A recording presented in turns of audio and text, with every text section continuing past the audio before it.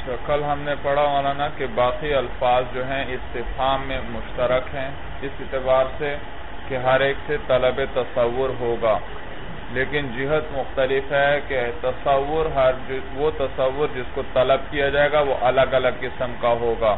کسی سے زمانے کو طلب کیا جائے گا، کسی سے مکان کو طلب کیا جائے گا، کسی کے ساتھ شرح اسم وغیرہ کو طلب کیا جائے گا۔ جیسے ماں جو ہے، یہ دو، انہوں نے آپ کو بتلایا دو قسم پر ہے۔ ایک وہ ماں ہے جس کے ساتھ اسم کی شرح کو طلب کیا جائے گا۔ اور یہاں میں نے بتلایا تھا، اسم بمانے لفظ کے ہے بیعام ہے، جو کس کو شامل ہے؟ فیل کو بھی اور حرف کو بھی۔ وہ اسم نہیں، مراد جو فیل اور حرف کے مقابلے میں آتا ہے۔ تو ماں کے ساتھ کسی اسم کی شرح کو طلب کیا جائے گا، جیسے ہم کہتے ہیں مل خاؤ تو اس کو، اس کا جواب دیا جائے گا کسی مشہور لفظ کے ساتھ۔ جواب میں کیا کہیں گے؟ طائرون یا طائرون عجیبن وغیرہ بھائی۔ اور کبھی کبھار ماں کے ساتھ مسمہ کی ماہیت کو طلب کیا جاتا ہے۔ اس کی حقیقت کے بارے میں پوچھا جاتا ہے، جس کی وجہ سے وہ مسمہ مسمہ ہے۔ یعنی یوں کہو، انسان کے ماہیت کے بارے میں، جس کے ساتھ انسان کی ماہیت کے بارے میں پوچھیں گے۔ یعنی وہ حقیقت جس کی وجہ سے انسان انسان ہے، جس کی وجہ سے انسان یعنی حیوان ناطق یہ حقیقت ہے تو انسان ہے، ورنہ انسان نہیں۔ قولنا جیسے ہم کہتے ہیں مل حرکت، تو حرکت کے بارے میں، اس کی حقیقت کے بارے میں سوال کیا بھائی۔ تو تو اور حرکت حرکت میں نے کیا بتایا تھا، کس کو کہتے ہیں؟ ایک چیز کا دو آنوں میں دو جگہ پر ہونا بھائی۔ ایک چیز کا دو آنوں میں دو جگہ پر ہونا یہ حرکت ہے بھائی۔ اگر دو آن تھے بھائی دو زمانے اور ان میں وہ ایک ہی جگہ تھی تو معلوم ہوا ساکن ہے۔ اگر الگ جگہ جگہ بدل گئی ہے تو معلوم ہوا یہ حرکت ہے۔ اور اس کے بعد انہوں نے مصنف نے آپ کو ترتیب بتلائی۔ آپ نے چار چیزیں پڑھ لیں۔ ایک حل بسیطہ، ایک حل مرکبہ اور ایک ماں شارحہ اور ایک ماں حقیقیہ۔ تو ترتیب یہ بیان کی، سب سے پہلے ماں شارحہ آتا ہے، اس کے بعد حل بسیطہ آتا ہے، اس کے بعد ماں حقیقیہ آتا ہے اور اس کے بعد حال مرکب آتا ہے۔ سب سے پہلے کی لفظ آپ کے سامنے آتا ہے تو آپ اس لفظ کا مفہوم پوچھتے ہیں۔ اس کا معنی کیا ہے؟ جب معنی کا پتہ چل جاتا ہے تو پھر اس کے بعد آپ پوچھتے ہیں کہ اس چیز کا خارج میں وجود بھی ہے یا نہیں۔ پھر جب آپ کو وجود کا بھی پتہ چل جاتا ہے، اب آپ کو اس کی تعریف حقیقی پوچھتے ہیں کہ اس کی حقیقت کیا ہے بھائی؟ اس کے بعد جب حقیقت کا بھی پتہ چل جاتا ہے، تو اس کے بعد حل مرکبہ کے ساتھ آپ کو زائد سوال کرتے ہیں بھائی اس وقت۔ جی کیوں کہتے ہیں یہ تو ترتیب علامہ تفتانی نے آپ کو بتلائی بھائی کہ کہتے ہیں سب سے پہلے شرح کو طلب کریں گے اور اس کے بعد وجود کو طلب کیا جائے گا۔ اس لیے کہ ایک لفظ، ایک شخص جس کو اسم کی شرح مفہوم اور معنی کا ہی نہیں پتا، تو وہ اس کے وجود کے بارے میں کبھی سوال نہیں کر سکتا۔ اور اسی طرح جس کو کسی چیز کے وجود کا جب تک علم نہ ہو، یہ بات محال ہے کہ وہ سوال کر لے اس کی حقیقت کے بارے میں۔ اس کے بعد یہ مفہوم اور ماہیت کے درمیان کئی فرق آپ کو بتلائے تھے۔ مفہوم اور ماہیت۔ یعنی دو باتیں ذکر ہوئی مولانا، ماں کے ساتھ کبھی کبھار کس چیز کو شرح اسم کو طلب کیا جاتا ہے، اس کو کہتے ہیں ما شارحہ۔ اور دوسرا کیا ہے، جس کی حقیقت کو طلب کریں، وہ ما حقیقیہ۔ تو ما شارحہ کے ما شارحہ کے جواب میں تعریف اسمی آتی ہے۔ اس اسم کا معنی اس کی تعریف آتی ہے۔ اور ما حقیقیہ کے جواب میں کیا آتی ہے؟ تعریف حقیقی آتی ہے۔ اب یہاں سے آپ کو تعریف اسمی اور تعریف حقیقی کے درمیان کئی فرق بتلائیں گے آپ کو۔ تو کہتے ہیں، والفرق بین المفہوم من الاسم بالجملتی وبین الماہیت اللتی تفہم من الحد بالتفصیل غیر قلیل۔ تو اصل میں عبارت یوں ہے والفرق غیر قلیل، بھئی فرق تھوڑا نہیں ہے۔ کس چیز میں فرق تھوڑا نہیں ہے؟ کہ بین المفہوم من الاسم بالجملتی۔ وہ جو چیز، جو مفہوم ہوتی ہے اسم سے بالجملہ مجموعی اعتبار سے۔ اجمالی طور پر جو بات اسم سے سمجھ میں آتی ہے، اس کے درمیان، اس مفہوم کے درمیان اور اس ماہیت کے درمیان جو کہ سمجھ آتی ہے، حد سے تفصیلاً۔ حد سے تعریف سے کیا آتی ہے؟ تفصیل۔ تو ایک وہ جو اسم سے اجمالی طور پر سمجھ میں آئے اور ایک وہ جو حد سے تفصیلی طور پر سمجھ میں آئے ان دونوں میں کہتے ہیں کوئی تھوڑا فرق نہیں ہے بلکہ زیادہ فرق ہے۔ جی تو کئی فرق ذکر کیے۔ ایک فرق دونوں میں یہ ذکر کیا کہ تعریف اسمی جو ہے ہر لغت کا جاننے والا اس کو جاننے کا جان لے گا بھائی۔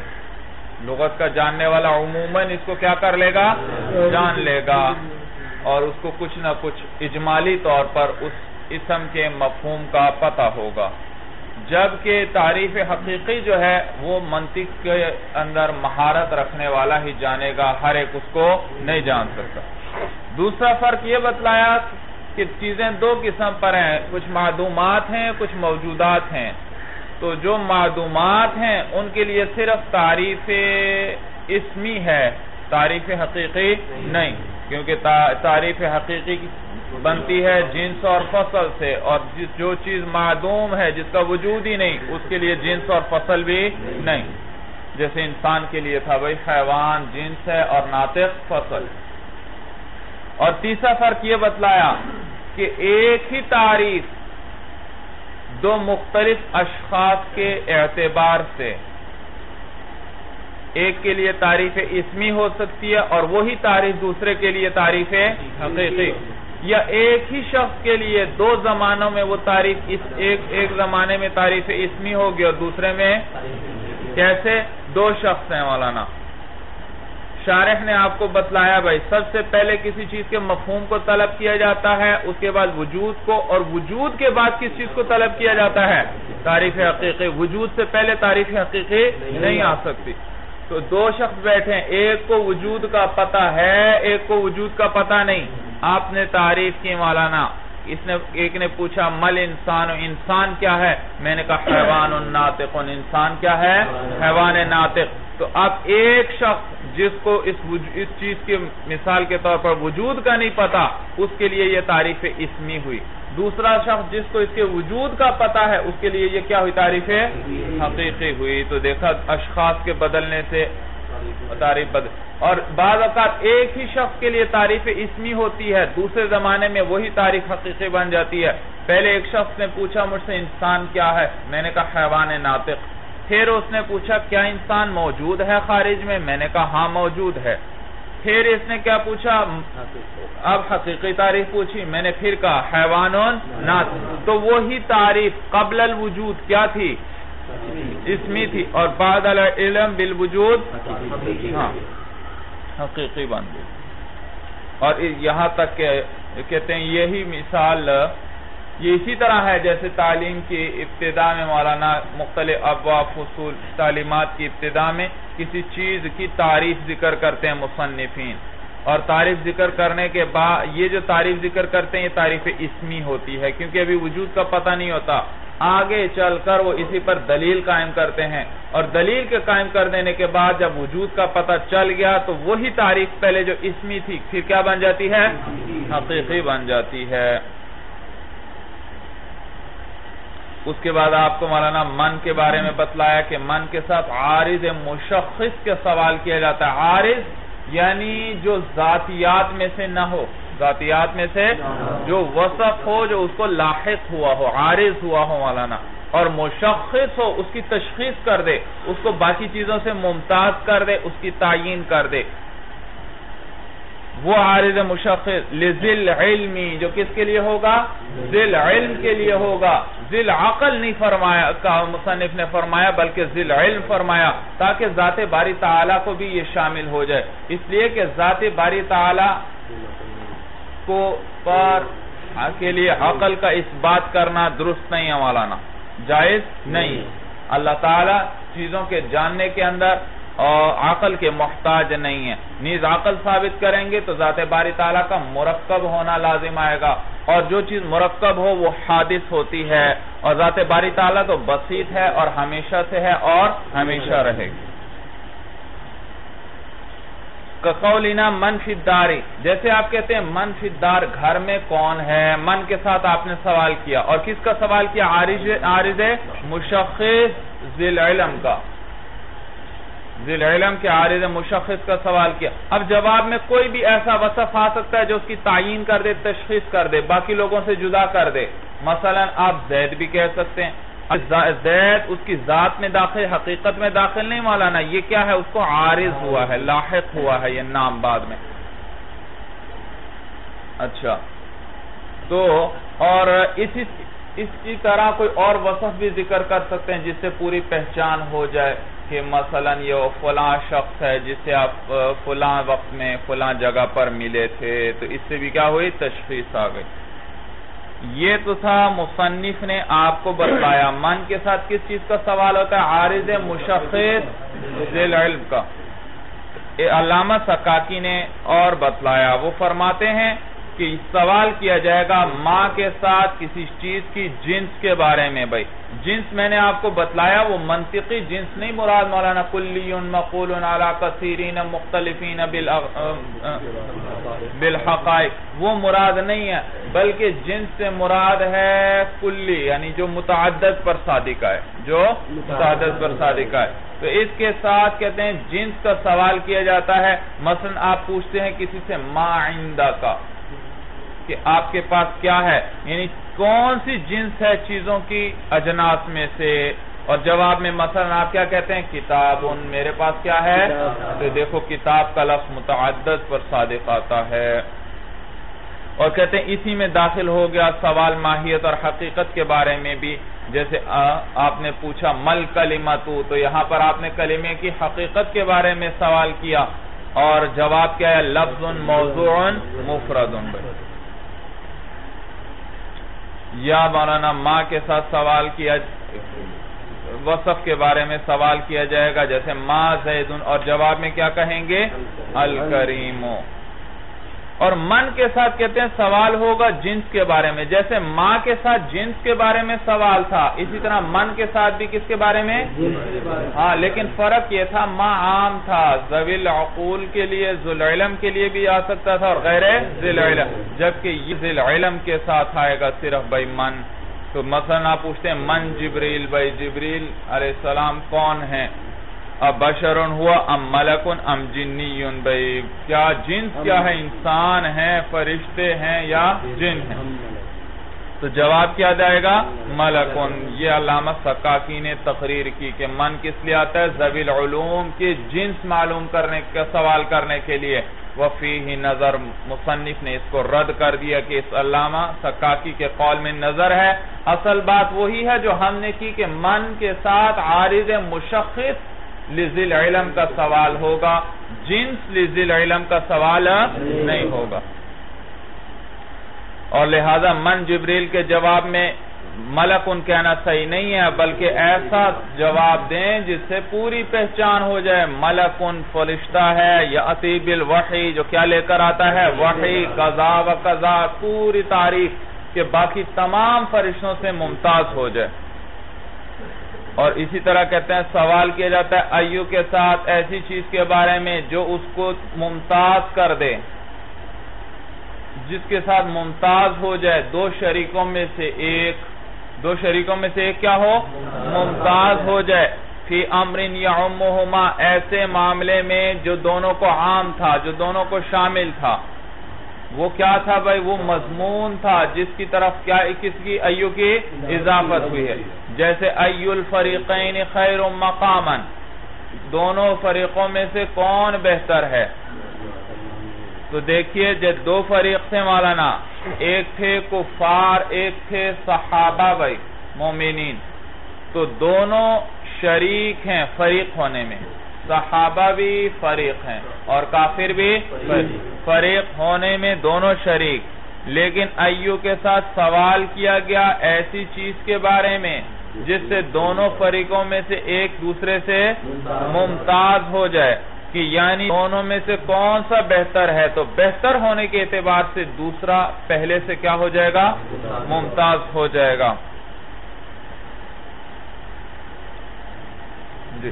یہاں میں نے آپ کو بتلایا تھا قد اشترکا فی الفریقیتی، دونوں فریقیت میں تو شریک ہیں۔ وَسَأَلُوا عَمَّا يُمَيِّزُ أَحَدُهُمَا عَنِ الْآخَرِ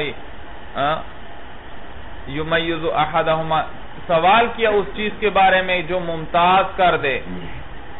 ایک کو دوسرے سے، جیسے مثل القونی یہ عبارت میں نے تبدیل کروائی تھی بھئی مثل القونی کافرین قائلین لہذا القول۔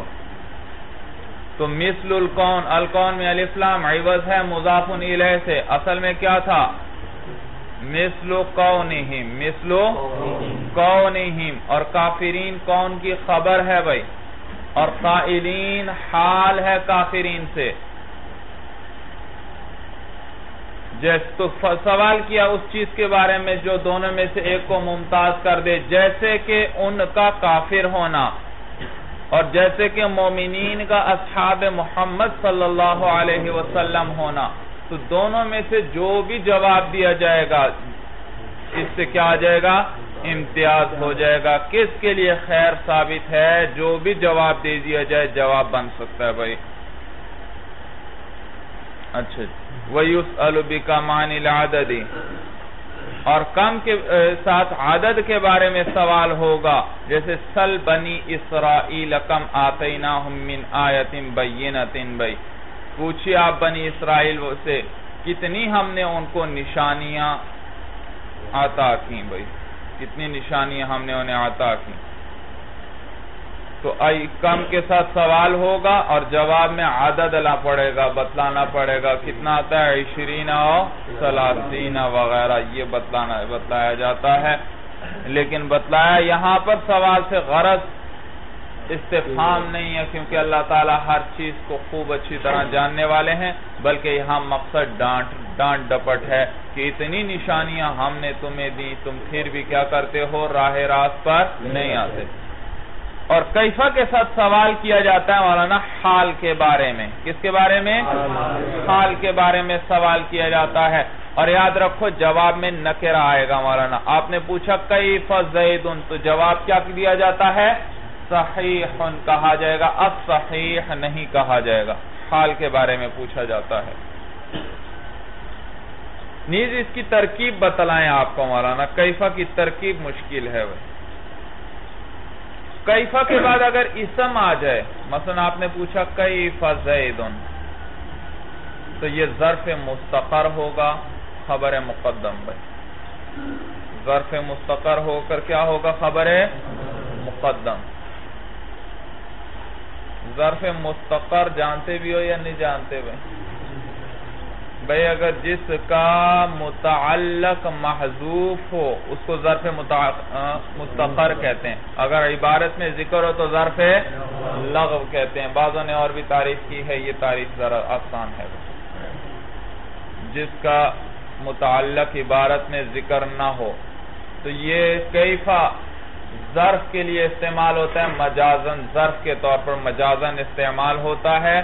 اور جب یہ ظرف ہے تو ظرف کیا چاہتا ہے مولانا؟ ہمیشہ کوئی متعلق چاہتا ہے جس سے یہ متعلق ہو جائے بھائی۔ تو یہاں وہ محضوف نکال لیں گے بھائی ثابتن کائنن وغیرہ۔ تو یہ ظرف مستقر ہو کر خبر ہے۔ یہ کب بنے گی؟ جبکہ اس کے بعد کیا آئے؟ اسم آئے اور اگر اس کے بعد فیل آئے تو یہ کیفا اس کے بعد اگر فیل آئے تو یہ حال بھی بن سکتا ہے اور مفول مطلق بھی بن سکتا ہے بھائی۔ حال بھی بن سکتا ہے اور مفول مثلا آپ پوچھتے ہیں، کیفا زارابا زیدن؟ تو کیفا کے بعد فیل آیا۔ اور جب فیل آ جائے تو یہ کیا بنتا ہے؟ حال بھی بن سکتا ہے اور مفول مطلق بھی بن سکتا ہے. جیسے کیا بنے گا یہ؟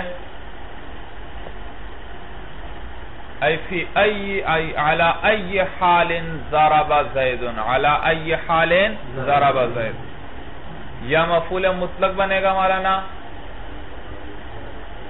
ای ضرب ضرب زید، ای ضرب ضرب زید. جی تو کیفہ کیا بنے گا بھائی؟ خلاصہ یہ یاد رکھو، کیفہ کے بعد اسم آئے تو یہ کیا بنے گا؟ خبر مقدم۔ اور اگر کیفہ کے بعد فیل آ جائے تو یہ حال بھی بن سکتا ہے اور مفعول مطلق۔ لیکن اگر ما بعد جو فیل آ رہا ہے، اس کے فائل ذات باری تعالی ہو، پھر یہ مفعول مطلق ہی بنے گا، حال نہیں بنے گا اگر ما بعد فیل کے فائل کون ہیں؟ اللہ تعالیٰ کی ذات ہے، تو پھر مفعول مطلق بنے گا، حال نہیں بنے گا، اس لیے کہ اللہ تعالیٰ احوال اور کیفیات سے منزہ ہے مولانا۔ احوال اور کیفیات سے منزہ ہیں۔ تو جیسے کیا آتا ہے مولانا؟ کیفا؟ علم ترا؟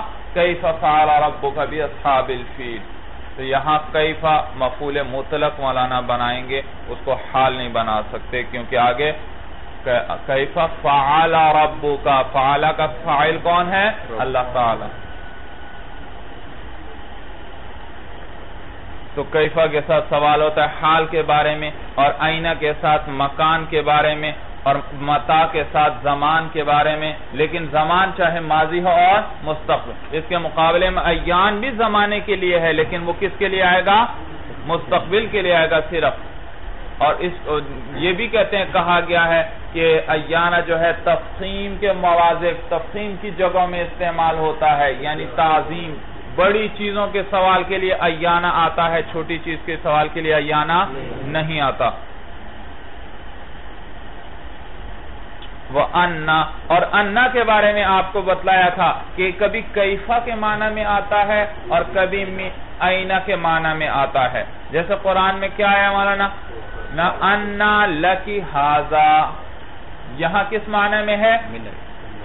آئینہ کے معنی میں کہ کہاں سے تمہارے حضرت زکریہ علیہ السلام نے حضرت مریم سے سوال کیا کہ کہاں سے آپ کے پاس یہ بے موسم کے پھل آتے ہیں؟ تو من آئینہ اور کبھی کبھار یہ کیفہ کے معنی میں آتا ہے، انا۔ لیکن کہتے ہیں اس صورت میں واجب ہے کہ اس کے بعد فیل آنا چاہیے۔ اگر فیل نہ آئے تو یہ پھر کیفہ کے معنی میں نہیں آ سکتا۔ جیسے قرآن میں آیا فَأْتُو حَرْسَكُمْ أَنَّا شِئْتُمْ تم آؤ اپنی کھیتیوں کے پاس جس کیفیت میں، جس حالت میں تم چاہو۔ وَمِنْ أَيِّ شِقٍ، جس جانب سے تم چاہو خلف ہو یا خلف کی طرف سے یا عوام سامنے کی طرف سے، لیکن ماتا وہ موضع حرف ہونا چاہیے۔ جس جگہ تم آؤ، وہ کیا ہو؟ موضع حرف ہو۔ یعنی جمع، موضع وہ موضع حرف ہی میں ہونا چاہیے۔ سمجھ میں آئے بھائی؟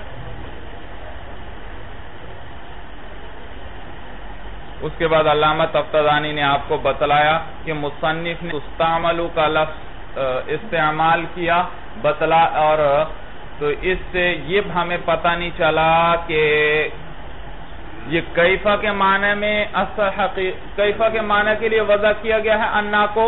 یا اس کو اینہ کے معنی کے لیے وضع کیا گیا ہے۔ انہوں نے ایسا لفظ استعمال کیا جس سے دونوں احتمال نکل سکتے ہیں۔ ہو سکتا ہے کہ دونوں کے میں دونوں کے لیے وضع کیا گیا مشترک ہو، اور یہ بھی ہو سکتا ہے کسی ایک میں حقیقت اور دوسرے میں مجاز ہو۔ اور پھر یہ بھی بتایا کہ اس کا معنی آئینہ ہے۔ کیا ہے؟ البتہ مین جو ہے، اس سے پہلے کبھی ظاہر ہوگا اور کبھی مقدر ہوگا۔ جیسے شاعر کا ایک، شعر کا ایک مصرہ پیش کیا تھا، من این عشرون لنا من انا من این عشرون لنا من انا تو دیکھا، یہاں ترکیب یہ ہے مولانا، من اینا یہ خبر مقدم ہے، عشرون لنا موصوص صفت یہ کیا ہے مولانا؟ مبتدا مؤخر ہے اور یہ عشرون کی تمیز ابلن محضوف ہے، ابلن محضوف ہے۔ یعنی کوئی یہ شاعر عامل زکاة کی مذمت بیان کر رہا ہے، کوئی شاعر ہوگا بھائی، کوئی زکاة دینے والا آیا ہوگا حکومت کی طرف سے، تو کوئی زیادہ اس نے وصول کی ہوگی یا کچھ، تو اس پر وہ شیر کہتے ہیں، من این عشرون لنا، ای عشرون ایبیلن لنا ہمارے پاس کہاں سے بیس اونٹ ہیں بھائی؟ ہمارے پاس کہاں سے بیس اونٹ ہیں؟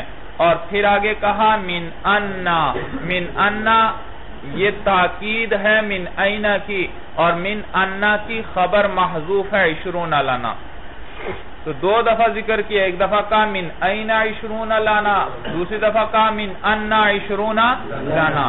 تو دیکھا انا سے پہلے من کبھی عبارت میں ذکر ہوگا، جیسے اس شاعر کے قول میں ہے۔ اور کبھی مقدر ہوگا، جیسے اللہ کے قول میں تھا انا لکی حاضا اے من انا لکی حاضا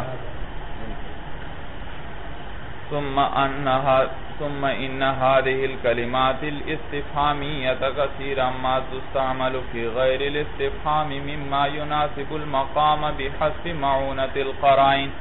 یہ تو استفہام کی بحث چل رہی تھی، اب مصنف آپ کو بتلا رہے ہیں بسا اوقات ان کلمات کو استفہام کے بجائے اور معنی کے لیے بھی استعمال کیا جاتا ہے بھائی۔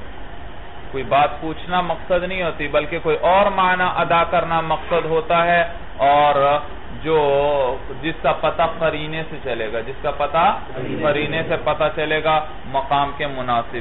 پھر یہ کلمات استفامیہ بسا اوقات استعمال ہوتے ہیں۔ استفام کے علاوہ میں بھی جیسے جو کہ مناسب ہو، مقام کے کس کی مدد سے؟ قرائن کی مدد سے۔ کل استبتائی، جیسے کیا ہے مانا نا جواب کو مؤخر کرنا، کسی کو سست پانا، کسی کو سست پانا۔ مثلا، آپ نے اپنے ایک ساتھی کو پیغام بھیجوایا کہ بھئی آپ مجھے ملنے آئیں وہ نہیں آیا۔ پھر آپ نے پیغام بھیجوایا پھر پیغام بھیجوایا پھر پیغام بھیجوایا پھر پیغام بھیجوایا بھائی، پھر پیغام بھیجوایا اس کے بعد وہ آیا۔ آپ نے اس کو کیا کہا؟ کم دعوتو کا تو کیا مانا تھا؟ یہ استفام ہے، پوچھنا مقصد ہے، بھائی کتنی دفعہ میں نے تجھے بلوایا؟ کہ بتلاؤ ذرا مجھے، گن کر بتلاؤ میں نے کتنی دفعہ بلوایا۔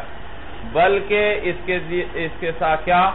کہ آپ نے جواب دینے میں بڑی تاخیر کر دی۔ مقصد یہ ہے کہ جواب دینے میں تاخیر کی، یہ بتلانا اس مقصد ہے، بھائی۔ تو وجہ یہ یہ استفام کو استعمال کیا استبتا تاخیر کے لیے۔ کس طرح؟ کس طرح؟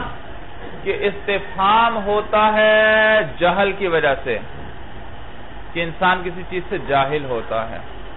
اور جہالت آئی کثرت دعوت کی وجہ سے۔ اتنی زیادہ دفعہ بلایا کہ جہالت ہی آگے، اب یاد ہی نہیں کتنی دفعہ بلایا۔ اور کثرت دعوت آئی استبتا کی وجہ سے۔ کس کی وجہ سے؟ تو استفام آیا جہل کی وجہ سے اور جہل آئی کس کی وجہ سے؟ کثرت دعوت کی وجہ سے اور کثرت دعوت کس کی وجہ سے آئی؟ تاخیر کی وجہ اس نے تاخیر کی تو آپ نے بار بار بلایا مولانا، تو یہ کیا ہے؟ سبب ہے، اگرچہ درمیان میں واسطے ہیں۔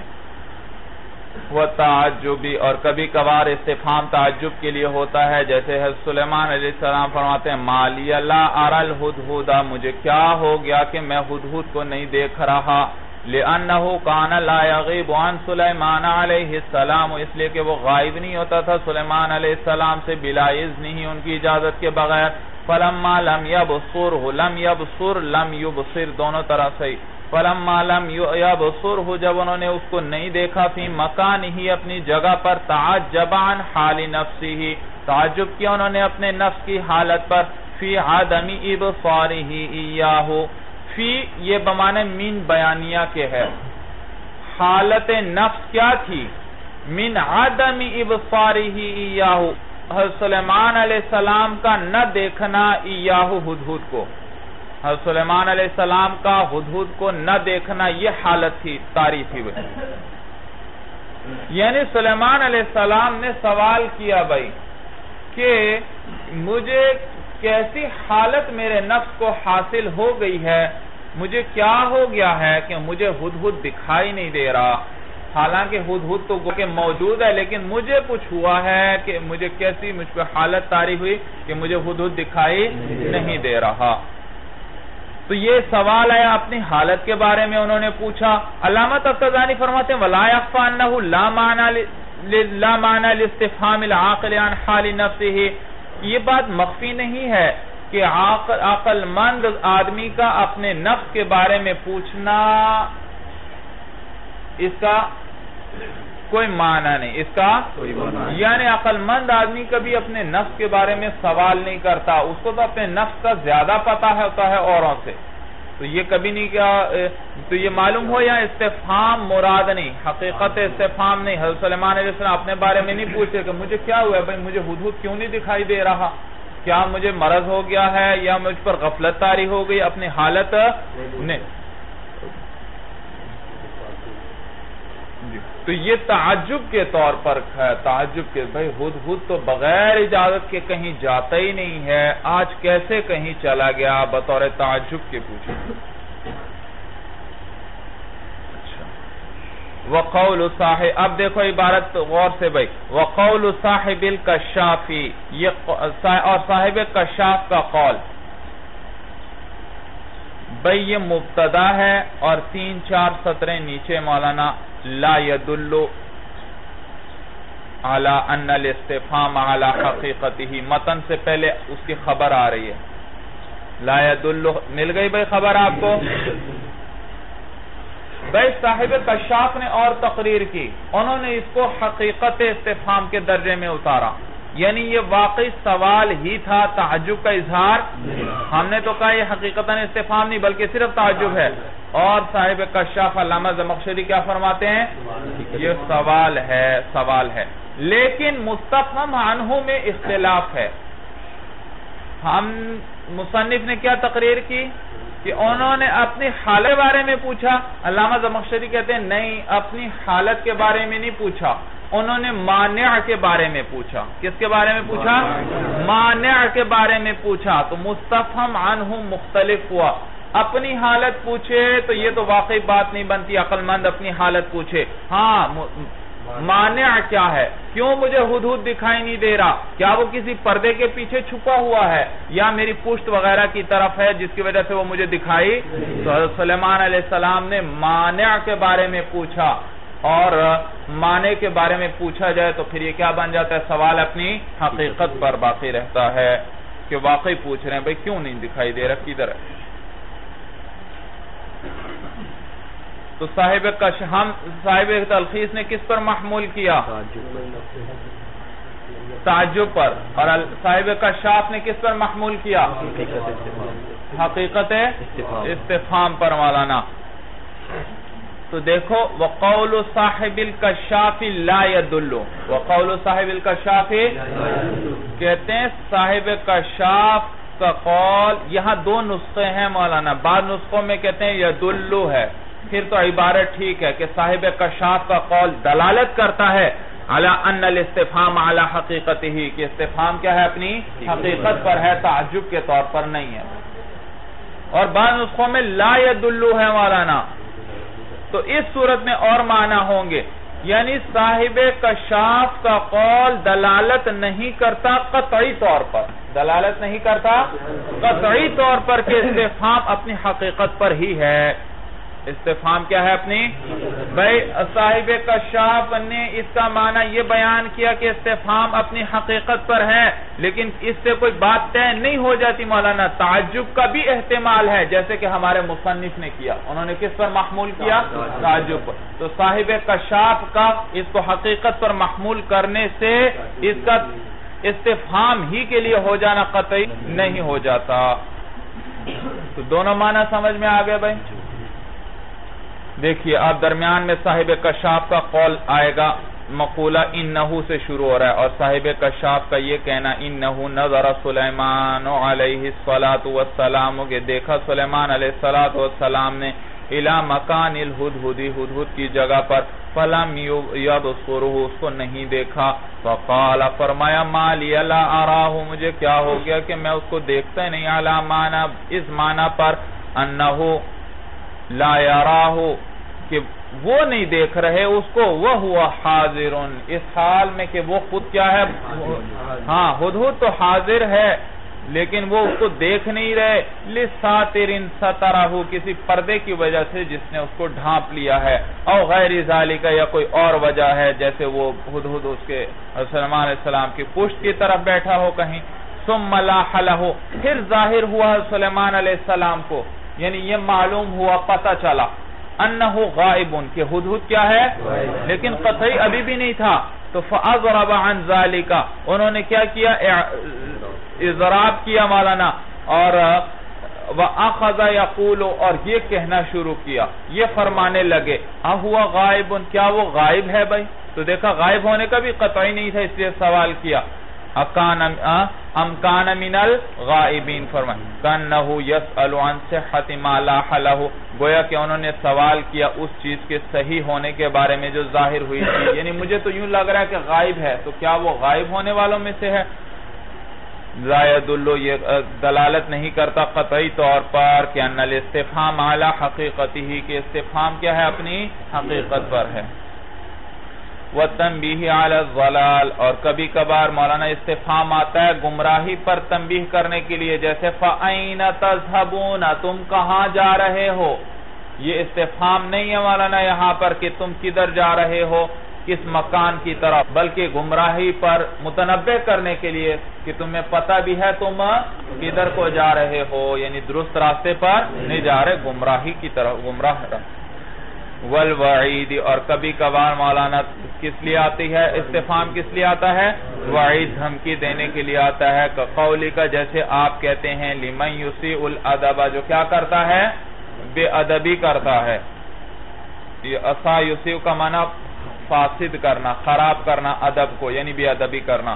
کوئی شخص ہے، وہ بے ادبی کرتا ہے، تو دوسرا اس کو کیا کہتا ہے؟ کیا میں نے فلاں کو ادب نہیں سکھایا تھا بھائی؟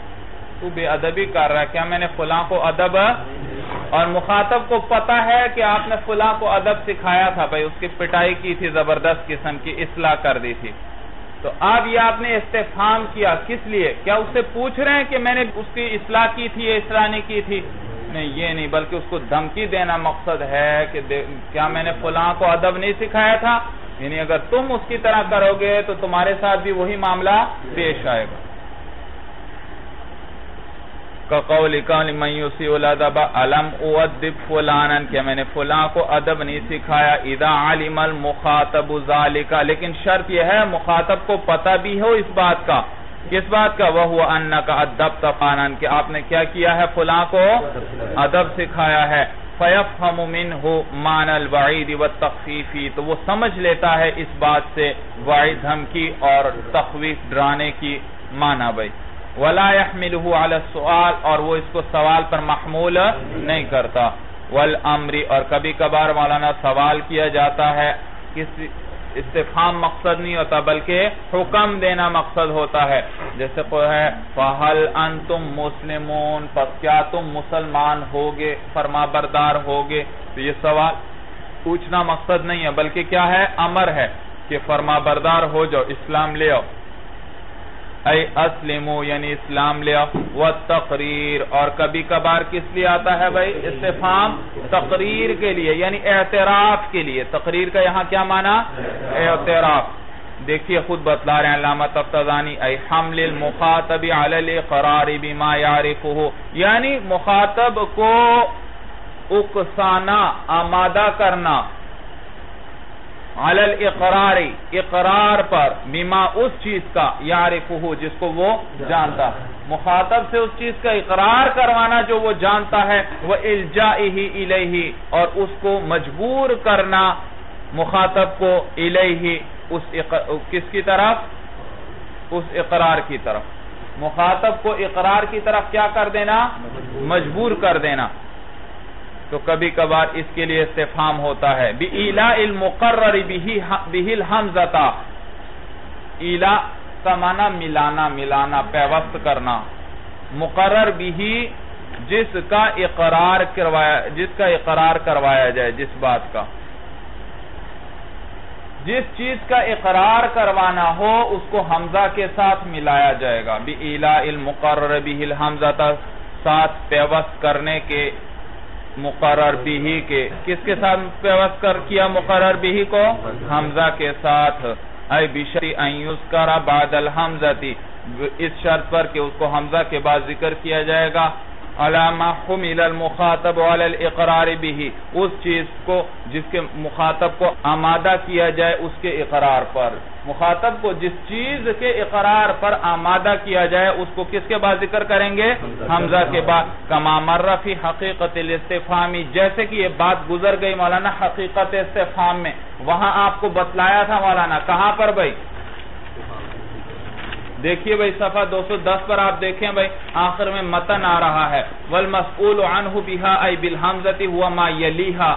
کہ مسئول عنہ جو ہوگا، جس کے جس کا سوال کرتے ہیں، وہ کس کے ساتھ ملا ہو؟ حمزہ کے ساتھ ملا ہو۔ فیل کا سوال کرنا ہے تو حمزہ کے ساتھ فیل کو ملا ہو۔ فائل کا سوال کرنا ہے تو حمزہ کے ساتھ فائل اور مفعول کو کرنا ہے تو مفعول کو ملا ہو۔ من الہ المسئول عنہ الحمزہ یعنی کہ ملانا۔ مسئول عنہ کو کس کے ساتھ؟ حمزہ کے ساتھ۔ اچھا۔ تقول، آپ کہتے ہیں ازاربت زیدن فی تقریرہی بالفعلی ازاربت زیدن کہتے ہیں، جبکہ آپ اعتراف کروانا چاہتے ہو فیل کا۔ کیا تو نے زید کی پٹائی کی ہے؟ یہ مقصد اب سوال نہیں ہے۔ اس سے کیا ہے؟ اقرار کروانا ہے کیونکہ وہ جانتا ہے اس نے زید کی پٹائی۔ انتا ضربتا فی تقریری بالفاعلی یہاں مولانا اعتراف فاعل کا کروانا ہو۔ کیا تو نے کی ہے زید کی پٹائی بھائی؟ وَأَزَيْدًا ضَرَبْتَ۔ کیا زید کی پٹائی کیا زید کی پٹائی تو نے کی ہے؟ فی تقریری ہی بالمفول جبکہ مفول کا اعتراف کروانا ہو عَلَى حَذَ الْقِيَاسُ اور اسی پر باقی باقی مفول وغیرہ جو ہیں ان کا بھی قیاس کر لیں۔ وقد یقال اور کبھی کہا جاتا ہے تقریر بمعنی تحقیق و تصویر کہ تقریر کس معنی میں ہے؟ تقریر کا معنی ثابت کرنا، پختہ کرنا۔ فیقال یوں کہا جائے گا ازاربت زیدن بمعنی انکا ضربتہو البتتا کہ آپ ہی نے کیا کیا ہے، اس کی پٹائی کی ہے، پختہ کرنا مقصد ہے ازاربت زیدن کے ذیع اس کو۔ والانکاری اور کبھی کبھار کیا کیا جاتا ہے مولانا؟ انکار کے لیے حمزہ کو استفام لے کر آتے ہیں۔ کذالک اسی طرح یعنی جس چیز کا انکار کرنا ہے، اس کو حمزہ کے بعد ذکر کرنا ہے۔ نحو غیر اللہ تدعونا کیا اللہ کے علاوہ کو تم کیا کرتے ہو؟ کو پکارتے ہو۔ تو دیکھو، یہاں پکارنے سے منع کرنا نہیں مقصد، اس کا پکارنے کا انکار نہیں، بلکہ غیر اللہ کو پکارنے کا انکار ہے۔ المنکر الحمزہ پیوست کرنے منکر جس کا انکار کیا جائے۔ اس کو حمزہ کے ساتھ کل فعلی، جیسے کہ فیل کا، فی قولی اس شعر میں۔ دیکھو یہاں فیل کا انکار ہے۔ تقتلونی والمشرفی مزاجعی کیا تم کیا تو مجھے قتل کر دے گا؟ اس حال میں کہ مشرفی تلوار میرے بسترے ہیں۔ مشرفی تلواریں میرے بسترے ہیں۔ مشرفی، مشرف جگہ کی طرف نسبت ہے یا مشرف لوہار کی طرف نسبت ہے؟ جہاں کی تلواریں مشہور تھیں مولانا۔ تو شاعر کہتا ہے، بھائی مشرفی تلواریں ہر وقت میرے ہمراہ رہتی ہیں مشرفی تلواروں کے بسترے پر میں سوتا ہوں یعنی ہر وقت میرے ہمراہ رہتی ہیں، تو کیا اس حال میں تو مجھے قتل کر سکتا ہے؟ تو انکار فیل مقصد ہے یعنی کوئی مجھے قتل یہ مقصد نہیں ہے کہ تو مجھے قتل نہیں کر سکتا، بلکہ کوئی بھی نہیں قتل کر سکتا، کیونکہ میرے ساتھ ہمیشہ کیا رہتی ہے؟ مشرفی تلوار رہتی ہے مشرفی والفاعل فی قوله تعالی اور فاعل کے جیسے فاعل کا انکار مولانا اللہ کے اس قول میں اہم یقسمون رحمت ربک، کیا وہ تقسیم کرتے ہیں آپ کے رب کی رحمت کو؟ تو یہ استفام انکاری ہے یعنی ایسا نہیں ہے، وہ تقسیم نہیں کرتے، تو حمزہ کے بعد ہم لائے مولانا، اس کی نفی ہے کہ وہ نہیں تقسیم کرتے۔ اللہ خود تقسیم فرماتے ہیں۔ والمفعول، یا کس کی نفی والا مولانا مفعول کا انکار، فی قوله تعالی اللہ کے اس قول میں۔ اغیر اللہ اغیر اللہ اتخذ ولیا، کیا اللہ کے علاوہ کو میں کیا پکڑ لوں؟ دوست ہاں؟ دوست پکڑ لوں۔ اللہ کے علاوہ کو میں ولی پکڑ لوں۔ تو یہاں کس چیز کی؟ یعنی غیر اللہ کو ولی پکڑنے کی سے کا انکار ہے کہ ایسا نہیں؟ ایسا میں نہیں کرتا۔ وَأَمَّا غَيْرُ الْحَمْزَةِ فَيَجِعُ لِلتَّقْرِيرِ وَالْإِنْكَارِ یہ تو مولانا حمزہ کی بات ہو رہی تھی. حمزہ کس لیے آتا کبھی تقریر کسی چیز کا اعتراف کروانے کے لیے لاتے ہیں. کبھی حمزہ انکار کے لیے لاتے ہیں کسی چیز کا انکار کرنے کے لیے. باقی غیر حمزہ کے علاوہ اور جو ہے حل وغیرہ وہ بھی تقریر اور انکار کے لیے آتے ہیں یا نہیں؟ تو کہتے ہیں، وَأَمَّا غَيْرُ الْحَمْزَةِ فَيَجِعُ لِلتَّقْرِيرِ وَالْإِنْكَارِ وہ بھی تقریر اور انکار کے لیے آتے ہیں۔ لیکن لا یجری فیہی ہادہی تفاصیل لیکن ان میں یہ تفصیلات جاری جیسے حمزہ میں کبھی فیل کا انکار ہوتا ہے، کبھی فائل کبھی کبھی فیل کا اقرار کروانا ہوتا ہے، کبھی فائل کا اور کبھی تو باقی بھی آتے ہیں تقریر اور انکار کے لیے، لیکن ان میں یہ تفصیلات نہیں ہیں۔ وَلَا يَقْصُرُ قَسْرَةَ الْحَمْزَةِ نیز وہ حمزہ کی طرح کثیر بھی نہیں ہوتے۔ ولا یکسر اور وہ کثیر بھی نہیں ہوتے۔ کثرت الحمزتی حمزہ کی طرح کثیر ہونا۔ ولہذا لم یبحث عنہ اسی لیے بحث نہیں کی ان سے۔ مصنف نے۔ وَمِنْهُ اور اسی سے ہے۔ ایمین مجیع الحمزت للانکار حمزہ کے انکار کے لیے آنے کی قبیل سے ہے۔ اللہ کا یہ قول۔ علیہ اللہ بکافن عبدہ کیا اللہ کافی نہیں ہے اپنے بندے کے لیے؟ یہ استفام انکاری ہے مولانا، وہاں کیا استفام انکاری میں کیا مقصد ہوتا ہے؟ انکار مقصد ہوتا ہے ایک چیز کا۔ علیہ اللہ بکافن عبدہ کیا اللہ اپنے بندوں کے لیے کافی نہیں ہے تو جواب کیا ہوگا؟ کافی ہے یعنی یہ تو انکار ہے مولانا۔ تو انکار نفی، لیس اللہ بکافن۔ اللہ کافی نہیں۔ اس پر حمزہ انکاری داخل کیا۔ تو انکار نفی پر نفی آئی۔ اور نفی پر نفی کیا ہوتی ہے؟ اسی لیے کہا ائی اللہ کافن۔ ائی اللہ کافن۔ اللہ کافی ہے لئن انکارا نفی، اس لیے کہ نفی کا انکار نفی لہو، ای نفی للانکاری، نفی للنفی، نفی کی نفی ہے۔ ونفی النفی اثبات اور نفی کی نفی اثبات ہے۔ جی جیسے آپ کیا کہتے ہیں مولانا اس کی مثال ہے۔ آپ نے کہا، یہ نہیں ہو سکتا کہ آج زید نہ آئے۔ زید نہیں آئے گا، اس پر آپ نے نفی داخل کی۔ یہ نہیں ہو سکتا کہ زید نہ آئے۔ کیا مانا زید آئے گا۔ تو اس سے نفی پر نفی داخل ہوئی تو اس نے اس بات کا فائدہ دی وَهَذَا الْمَعْنَى مُرَادُ مَنْ قَالَ، اور یہی معنی مراد ہے جس یہ کہا، ان الحمزہ فیہ للتقریر۔ بھئی، مصنف نے کیا کہا؟ علیہ اللہ بکافن کے اندر حمزہ کون سا؟ انکاری۔ بعضوں نے کیا کہا، حمزہ کون سا ہے؟ دو گزرے ہیں نا حمزہ؟ ایک اعتراف تقریر کے لیے اور ایک انکار کے لیے۔ تو مصنف نے کہا اس میں حمزہ انکاری ہے۔ بعضوں نے کہا حمزہ تقریر کے لیے، اعتراف کروانے کے لیے ہے۔ بات وہی ہے، تھوڑی سی تقریر میں فرق۔ وہاد المعنی مراد۔ یہی معنی مراد ہے من قال، جنہوں نے یہ کہا ان الحمزہ تفیہ للتقریر کہ اس کے اندر حمزہ کس لیے ہے؟ تقریر، اعتراف کروانے کے لیے ہے۔ لحمل المخاطب علی الاقرار بما دخلہ النفی یعنی مخاطب کو اکسانا ہے اس بات پر کہ وہ اقرار کرے اس چیز کا جس پر نفی داخل ہوئی ہے۔ جس پر نفی داخل۔ بھئی اصل میں تو حمزہ داخل ہوا ہے نفی پر لیکن نفی کا اقرار نہیں کروانا کہ اللہ کافی نہیں ہے، اقرار کرو۔ بلکہ جس پر نفی داخل ہوئی ہے، اور نفی کس پر داخل ہوئی ہے کہ اللہ کافی ہے تو اللہ کافین پر لیسا داخل ہوا۔ تو یہ جس پر نفی داخل ہوئی، اس کا اقرار کروانا مقصد ہے۔ اشکال ہو رہا تھا نا بھائی؟ کہ جس پر حمزہ داخل ہو اس کا کیا کروایا جاتا ہے؟ اقرار۔ تو اس پر اشکال ہوتا ہے کہ یہاں تو لیس اللہ بکافن نفی پر حمزہ داخل ہے اور نفی کا تو اقرار کروا جائے تو معنی درست نہیں بنتا بھائی۔ یعنی اقرار کرو اس بات کا کہ اللہ کافی نہیں ہے۔ تو کہتے ہیں بلکہ یہاں اقرار نفی کا نہیں کروایا جا رہا، بلکہ جس پر نفی داخل ہے۔ اور وہ کیا ہے؟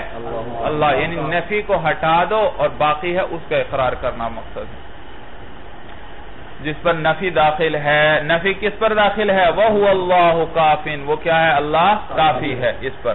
لا بن نفی نہ کہ نفی کا اقرار کروانا مقصود ہے۔ اور وہ کیا ہے؟ وہ اللہ بے کافن فتقریر خلا کلام یہ مصنف یہ شارح بتلا رہے ہیں کہ جو پیچھے ضابطہ بیان کیا تھا کہ حمزہ کے بعد، جو ہوگا، اس کا اعتراف کروایا جائے گا۔ حمزہ کے بعد جو ہوگا، وہ قاعدہ کلیہ نہیں، کیونکہ یہ حمزہ کے بعد نفی ہے اور نفی کا اقرار نہیں کروایا جا رہا، بلکہ اس بات کروایا۔ فَتَقْرِيرُ اللَّهِ يَجِبُ، التَّقْرِيرُ واجب نہیں ہے، ان يكون بالحكم الذي دخلت عليه الحمزة کہ اسی حکم کی ہو جس پر داخل ہو رہا ہے، داخل ہو رہا ہو حمزہ۔ بل بما يعرف المخاطب من ذلك الحكم بلکہ اعتراف اس چیز کا ہوتا ہے جس کو جس کو مخاطب جانتا، جس حکم کو مخاطب دیکھیے، بل بیما بلکہ اس چیز کا ہوتا ہے یعرف المخاطب، جس کو مخاطب جانتا ہے۔ من ذالک الحکمی یعنی کہ اس حکم کو اثباتن او نفین اثباتن یا نفین مخاطب جس طرح بھی اس کو جانتا ہو، اس کا اقرار کروانا ہے۔ اگر مخاطب اس کو مثبت جانتا ہے، تو اس کا کیا کرنا ہے؟ اور اگر منفی جانتا ہے، تو تو موقع محل کے مطابق دیکھیں گے۔ اور یہاں تو مخاطب جانتا ہے کہ اللہ کافی ہیں۔ تو اگرچہ حمزہ نفی پر داخل ہو رہا ہے، لیکن اقرار کس کا کروانا ہے؟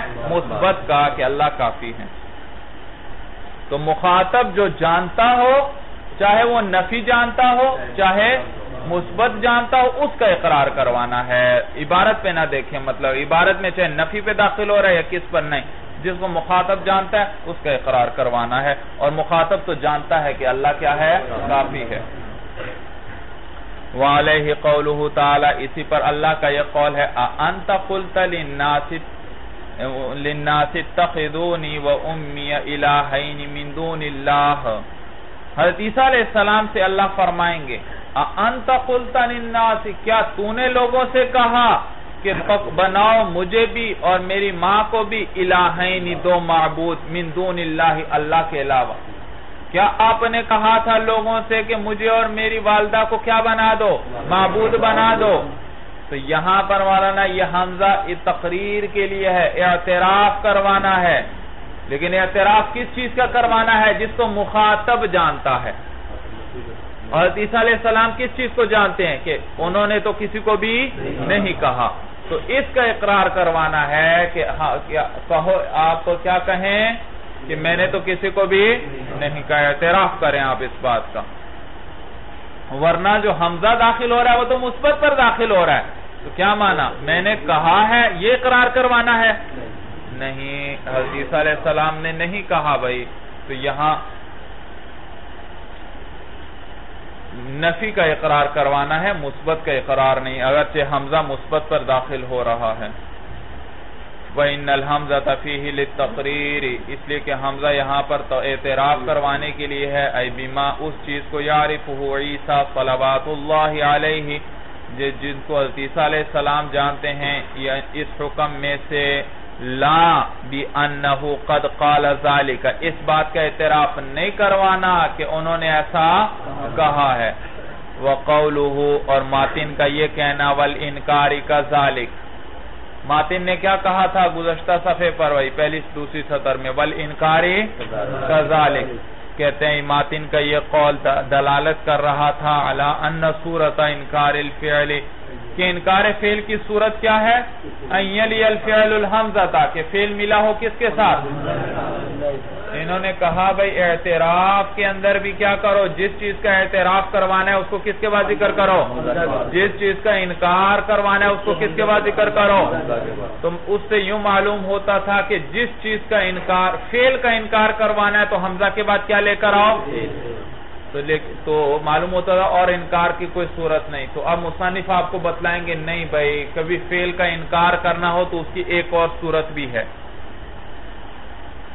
کوئی ایک اور صورت، جیسے دیکھیے مثال سے بات سمجھ میں آئے گی۔ ولما کان لہو صورت اخرى، اور چونکہ اس انکار فعل کی ایک اور صورت بھی تھی، لا یلی فی حل الحمزہ تھا جس کے اندر فعل حمزہ کے ساتھ نہیں ملتا تھا۔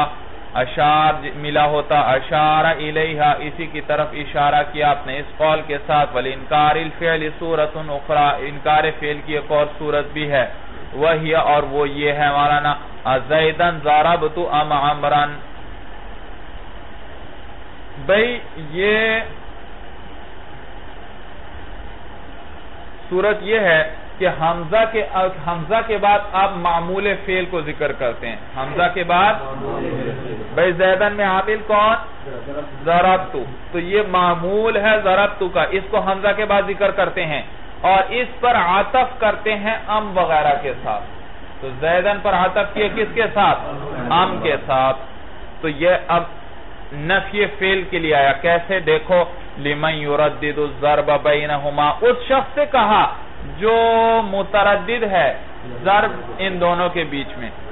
اس بار میں متردد ہے کہ ضرب کس پر واقع ہوئی ہے؟ زید یا کسی اور پر واقع؟ ہاں من غیر ان اعتقد تعلقہ بغیرہما بغیر اس کا اعتقاد یقین کیے کہ اس کا تعلق کسی اور کے ساتھ ہے۔ یعنی اس کو یقین ہے، ضرب انہی دو سے متعلق ہے، انہی دو میں سے کسی پہ واقع ہوئی ہے، کسی اور پر نہیں۔ تو آپ نے کہا زیدن ضربتو ام عمرن کیا زید یا عمر کی میں پٹائی کروں گا؟ تو آپ نے گویا نفی کر دی کہ میں زید اور عمر کی میں نے پٹائی نہیں کی، میں نے پٹائی نہیں کی زید اور عمر کی۔ تو جب مولانا وہ فیل کا تعلق کن دو سے بنا رہا تھا؟ زید اور عمر سے۔ اور آپ نے دونوں سے نفی کر دی۔ کیا میں زید یا عمر کی پٹائی کروں گا؟ تو زید سے بھی نفی ہو گئی اور یعنی میں ان کی پٹائی اور اس کا تو یقین تھا اس کے علاوہ کسی اور سے تعلق ہی نہیں اور ضرب کے لیے تو کوئی متعلق چاہیے جس پر ضرب واقع ہو بھائی بغیر مفعول کے ضرب پائی جا سکتی ہے جب تک مضروب نہیں، ضرب نہیں۔ تو مضروب کی تو آپ نے نفی کر دی۔ جب مضروب کی نفی ہو گئی تو ضرب کی بھی خود بخود نفی ہو گئی۔ فَإِذَا أَنْكَرْتَ تَعَلُّقَهُ بِهِمَا، جب آپ نے انکار کر دیا زید اور عمر کے ساتھ فیل کے تعلق کا، فَقَدْ نَفَيْتَهُ عَنْ أَصْلِهِ، تو تحقیق آپ نے نفی کر دی ضرب کی عن أَصْلِهِ سرے سے ہی، لِأَنَّهُ لَا بُدَّ لَهُ مِن مَحَلٍ يَتَعَلَّقُ بِهِ۔ اس لیے ضرب کے لیے ضروری ہے کوئی محل ہو جس سے اس کا تعلق ہو۔ والانکار والانکار امال التوبیخ بھئی بات چل رہی تھی استفام آتا ہے مختلف معانی کے لیے۔ جیسے کیا آیا؟ استبتا آیا، تعجب آیا تنبیح آیا، وعید آئی مولانا، امر آیا، تقریر اور انکار۔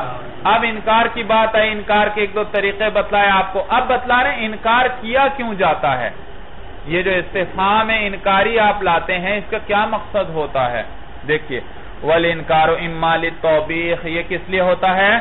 ڈانٹ ڈبٹ کے لیے کیا جاتا ہے۔ ای ما کان ينبغي ان يكون ذلك الامر الذي كان کہ بھئی مناسب نہیں تھا ہونا اس کام کا الذي كان جو ہو گیا۔ جو جو کام ہو گیا ہے، ماضی کے اندر ہو، جبکہ گزر چکا۔ یہ کام ہونا نہیں چاہیے تھا تو ڈانٹ ہے کہ ایسا نہیں ہونا چاہیے تھا۔ جیسے اعفیت ربکا کسی شخص کو آپ کہتے ہیں، اعفیت ربکا کیا تو نے اپنے رب کی نافرمانی کی ہے؟ کیا مانا؟ یعنی تجھے ایسا نہیں کرنا چاہیے تھا، تو یہ انکار ہے اور انکار ڈانٹ کے طور پر ہے۔ فَإِنَّ الْعِسْيَانَ وَاقِعُونَ۔ اس لیے کہ عسیان تو واقع ہے، لَكِنَّهُ مُنْكَرٌ بِهِ۔ لیکن اس کا کیا کیا گیا ہے؟ انکار کیا گیا ہے۔ وَمَا يُقَالُ۔ اور وہ جو کہا ہے کہ أَنَّهُ لِلتَّقْرِيرِ، کہ یہ کس لیے ہے مولانا؟ انکار تقریر کے لیے ہے۔ فَمَعْنَهُ التَّحْقِيقُ وَالتَّصْدِيقُ۔ اس کا معنی ہے ایک چیز کو ثابت کرنا۔ اس کی تحقیق کرنا اور اس کا اس بات کرنا والا نا۔ یعنی مخاطب سے ماضی میں ایک فیل ہوا ہے۔ آپ نے کہا، اعصیت ربا کا تحقیق کے طور پر۔ انکار کے طور پر نہیں، بلکہ یعنی آپ اس کو ثابت کرنا چاہتے ہیں کہ تو نے کیا کیا ہے؟ تیرے سے تو نے اللہ کی نافرمانی کی ہے، اس کو ثابت کروانا چاہتے ہیں۔ اولا ينبغي ان يكون استفام کس لیے آئے گا مولانا؟ ابھی کیا بات ہوئی؟ توبیخ کے لیے ڈانٹ ڈپٹ کے لیے۔ ماضی میں ہو تو مانا کیا ایسا نہیں ہونا چاہیے تھا؟ مستقبل میں ہو تو کیا معنی ایسا؟ ایسا نہیں ہونا چاہیے۔ اور لا ينبغي ان يكون یا مناسب نہیں ہے کہ ایسا ہو۔ نحو اتا اتا سی ربک۔ تو کیا کرتا ہے؟ اپنے رب کی، تو اپنے رب کی نافرمانی کرے گا۔ یعنی ایسا نہیں کرنا چاہیے۔ اول تقزیب فی الماضی کبھی کبھار والا، یہ تو تھا توبیخ کے لیے۔ کبھی انکار جھٹلانے کے لیے بھی آتا ہے۔ ماضی میں۔ ای لم ماضی میں۔ ای لم یکن یعنی ایسا نہیں ہے۔ کسی کو جھٹلانا مقصد ہے، ڈانٹ ڈپٹ نہیں، بلکہ کیا ہے؟ جیسے، آفا اصفاکم ربکم بالبنین۔ کفار کیا کہتے تھے؟ فرشتے اللہ کی بیٹیاں ہیں۔ اور خود کیا پسند کرتے تھے؟ بیٹے۔ کہ ہمارے تو بیٹے ہیں اور یہ۔ تو اللہ فرما رہے ہیں آفا اصفاکم ربکم بالبنی کیا پس تمہیں چن لیا ہے تمہارے رب نے بیٹوں کے ساتھ؟ تمہارے لیے بیٹوں کو پسند کر لیا ہے۔ تو یہ مولانا انکار ہے کیا اللہ نے تمہارے لیے تمہیں بیٹوں کے ساتھ چن لیا ہے؟ یہ استفام انکاری ہے، ایسا نہیں ہے۔ اور یہ تقزیب ہے، جھٹلانے کے لیے ہے ان کو۔ لم یفعل ذالکا یعنی اللہ نے ایسا نہیں، تم یوں کہتے ہو اور اللہ نے ایسا نہیں کیا بھائی۔ او فی المستقبل، یا ہمارا نا مستقبل میں جھٹلانے کے لیے۔ لا یکونو یعنی ایسا نہیں ہوگا، ایسا نہیں ہوگا۔ نحو انلزمکموہا کیا ہم تم سے اس ہدایت کو ای نلزمکم تلک کیا ہم تمہارے ساتھ لازم کر دیں گے اس ہدایت کو؟ اے کفار، تم کیا سمجھتے ہو کہ ہم تمہارے ساتھ کیا کر دیں گے؟ ہدایت لازم کر دیں گے۔ حالانکہ ایسا ایسا نہیں ہوگا، تو یہ ان کو جھوٹلانے کے لیے مولانا اور مستقبل کی نفی کی کہ ایسا نہیں ہوگا۔ کیا ہم تمہارے ساتھ اس لازم کر دیں گے اس ہدایت کو؟ اویل حجتا یا کس کو اس حجت اور دلیل کو؟ سمجھ میں آیا بھائی؟ یعنی آپ کیا ہم تمہیں اس بات پر، تمہارے ساتھ اس دلیل کو لازم کر دیں گے؟ یعنی کیا تمہیں اس کے قبول، تم سے قبول کروا لیں گے؟ ایسا نہیں۔ تم سے دلیل کو ہم قبول اپنی مرضی سے قبول کرتے ہو تو قبول کرو۔ کیا دلیل؟ دلیل کہ یہ دین حق ہے مولانا، یہ دین کیا ہے؟ یہ پیغمبر سچا ہے۔ تو جب یہ دلیل جو شخص قبول کر لیتا ہے، وہ پھر کیا کرتا ہے؟ دین پر عمل کرتا ہے۔ اس کو پتا چل جاتا ہے کہ اس دین پر عمل کرنا چاہیے، یہ دین سچا ہے، یہ پیغمبر سچ کیا ہے کفار، تمہارا یہ خیال ہے، ہم تم سے یہ دلیل کیا کروا لیں گے؟ قبول کر لیں کروا لیں گے، تمہیں مجبور کر دیں گے کہ پھر تم پابند شریعت مان جاؤ، ایسا نہیں ہے۔ اول حجتا بمانے انکرہکم علا قبولہا، کیا ہم تمہیں مجبور کر دیں گے اس کے قبول پر کرنے پر؟ وَنَقْصِرْكُمْ عَلَى الْإِسْلَامِ وَنَقْصِرْكُمْ عَلَى الْإِسْلَامِ قصرہ یقصر کا معنی مجبور کرنا۔ کیا ہم تمہیں مجبور کر دیں گے اسلام پر؟ والحال انکم لہا کارہون اور حال یہ ہے کہ یہ تم بے شک اس کو کیا کرتے ہو؟ ناپسند کرتے ہو۔ یعنی لا یکون هذا الالزام یہ الزام نہیں ہوگا۔ یعنی یہ جو ہم لازم کرنا لازم کر دیں ایسا نہیں ہوگا۔ اویت وتحکم یا مولانا یہ عطف ہے مولانا۔ انکار کی بات ختم ہو گئی۔ کبھی کبھار اس کا عطف عطف علی الاستبتائی یا وانا کبھی استفہام ہوتا ہے استحضاء کے لیے، کسی کا مذاق اڑایا جاتا ہے۔ او علی الانکار، یا اس کا عطف استبتا پر ہے یا کس پر ہے؟ انکار پر۔ بھائی دیکھیے، پچھلے صفحے پر آئیے ذرا۔ دیکھیے کل استبتائی سب سے پہلے آیا۔ آگے آیا تعجب کے لیے آتا ہے، پھر کیا آیا کبھی تنبیح کے لیے، پھر کیا آیا وعید کے لیے، کبھی پھر کیا آیا عمر کے لیے، اس کے بعد کیا آیا تقریر کے لیے، اس کے بعد کیا آیا انکار، اور پھر اس کے بعد ابھی تک انکار کی بحث چل رہی تھی۔ تو کبھی کبھار تحکم کے لیے آتا ہے یعنی عمر کے استفام مذاق کے لیے آتا ہے۔ تو اس کا عطف کہتے ہیں، یا تو استبتا پر کر لو بھائی۔ استبتا کون تھا؟ جو سب سے پہلے ذکر ہوا۔ معطوف علیہ پہلا معطوف علیہ او علی الانکار، یا سب سے آخری معطوف جو ذکر ہوا، وہ کیا تھا؟ انکار۔ اس پر عطف کر لو۔ تو یاد رکھو مولانا، جب بھی عطف کیا جاتا ہے، سب سے قریب والے پر کیا جاتا ہے۔ یا سب سے پہلے پر۔ سب سے پہلے پر اس لیے کہ وہ اصل ہے۔ ساروں کا عطف اسی پر ہو رہا ہے۔ اور سب سے قریب والے پر اس لیے کہ یہ اس کے قریب ہے۔ درمیان والوں پر عطف جائز نہیں والا۔ سمجھ میں آئی بات بھائی؟ تو یہی بات کر رہے ہیں کہ عاطف یا تو استبتا پر ہے یا انکار پر ہے۔ وَذَالِكَ اور یہ اس وجہ سے انہو مختلف کہ نحویوں نے اختلاف کیا ہے اس بات میں۔ انہو اذا ذکر معطوفات ان کثیرہ، کہ جب بہت سے معطوفات ذکر ہوں، ان الجمیع معطوف علی الاولی کہ سارے کے سارے پہلے پر ہی معطوف ہوں گے، او او کل واحد عطف علی ما قبلہ، یا ہر ایک معطوف ہوگا کس پر؟ اپنے سے ماقبل پر۔ تو بعض کہتے ہیں ہر ایک اپنے سے ماقبل پر ہوگا، اور بعض کہتے ہیں سارے کس پر ہوں گے؟ پہلے پر ہوں گے۔ تو میں نے آپ کو بتلایا بھائی کہ یہ دونوں پر کر سکتے ہیں۔ جیسے استحضاء کی مثال کا تامر کا انا ترکا مایا بدو آباؤنا۔ کیا تیری نماز تجھے حکم دیتی ہے کہ ہم چھوڑ دیں اس چیز کو جس کو، جس کی ہمارے آبا عبادت کیا کرتے تھے؟ وذلك ان شعيبا على نبينا وعليه السلام كان كثير الصلاه شعیب علیہ السلام جو تھے بہت نمازیں پڑھنے والے تھے. وكان قومه اذا راوه يصلي تضحكوا جب ان کی قوم ان کو دیکھتی تھی نماز پڑھتے ہوئے وہ ان پر ہنستے تھے. فقصدوا بقولهم تو انہوں نے ارادہ کیا اپنے اس قول کے ساتھ. افلا اصلاتک تأمرک اس قول کے ساتھ ارادہ کیا الحض الحزء والسخریہ حضا اور سخریت کا ایک معنی ہے مولانا۔ یہ کس کو کہتے ہیں؟ استحضاء کرنا، مذاق اڑانا۔ تو اس قول کے ساتھ انہوں نے مذاق اڑانے کا ارادہ کیا تھا۔ لا حقیقت الاستفام یہاں وہ سوال نہیں کرنا چاہتے تھے کہ کیا نماز حکم کرتی ہے، بلکہ کیا کرنا تھا؟ مذاق اڑانا تھا۔ وہ تحقیر، کبھی کبھار مولانا استفام آتا ہے تحقیر کے لیے، جیسے من حاضا، یہ کون ہے؟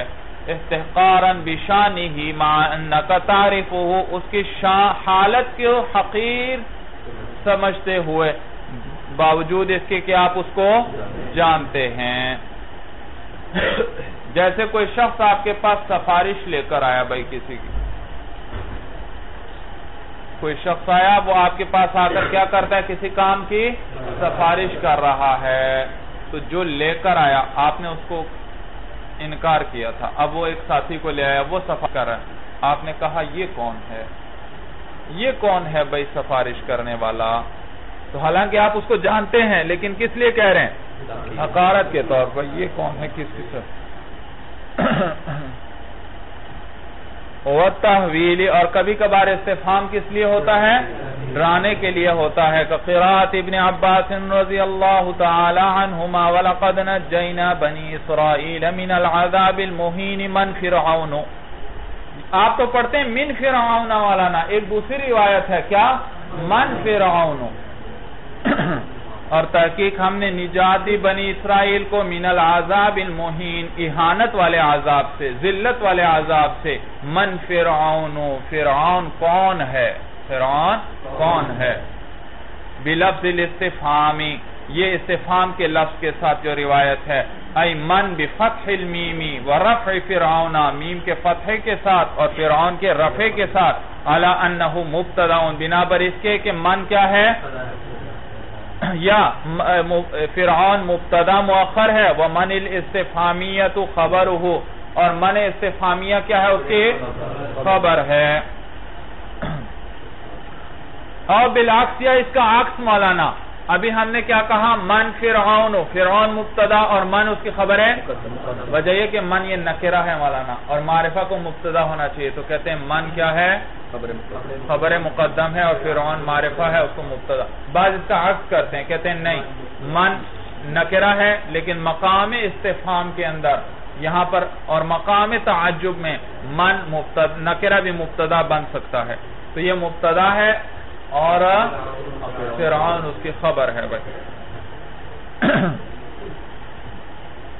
تو کہتے ہیں، یہ فرعون مبتدا ہے اور من استفامیہ خبر ہے، او بالعکس یا اس کا عکس ہے الاختلاف الرائین یعنی بنا بر دونوں رائیوں کے اختلاف۔ تو پہلا مذہب جو من کو خبر مقدن آتے ہیں، امام اخفش ہیں۔ اور جو فرعون کو خبر بناتے ہیں، وہ کون ہے؟ امام سیبوے ہیں۔ فَإِنَّهُ لَا مَعْنَى لِحَقِيقَةِ الْإِسْتِفْحَامِ ہا ہونا۔ اس لیے کہ یہاں حقیقت استفحام کا کوئی معنی نہیں۔ وہ ظاہر اور یہ بات ظاہر ہے۔ کیونکہ اللہ ہر چیز کو جاننے والے ہیں، تو یہاں استفام اپنی حقیقت پر نہیں کہ اللہ پوچھ رہے ہیں، من فرعون و فرعون کون ہے؟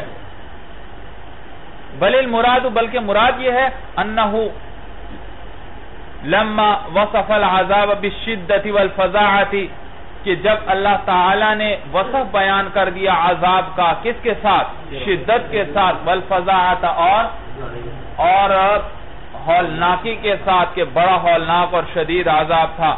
زادہم تحویلا، بڑھا دیا ان کو کس اعتبار سے؟ ڈرانے کے اعتبار سے اور زیادہ کیا۔ یعنی انہیں اور زیادہ ڈرایا۔ انہیں اور زیادہ ڈرایا۔ بقول ہی اس قول کے ساتھ، من فرعون فرعون، اے حل تعرفون من ہوا کیا تم جانتے بھی ہو فرعون کون ہے بھائی؟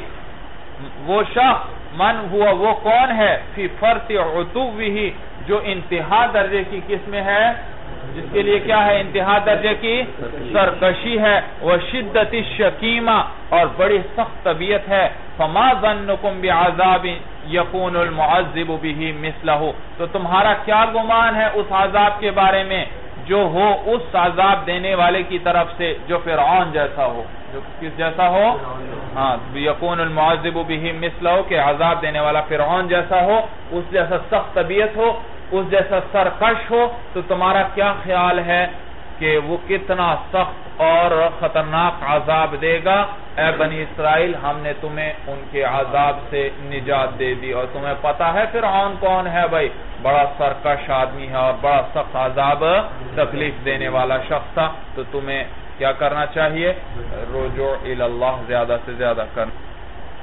وَلِهَادَا قَالَ، اور اسی لیے کہا، اللہ تعالیٰ نے فرمایا، خوف ڈرانے کے لیے انہو کان عالیا، انہو ہے انہو انہو کان عالیا من المصرفین، کہ یہ وہ کیا تھا فرعون؟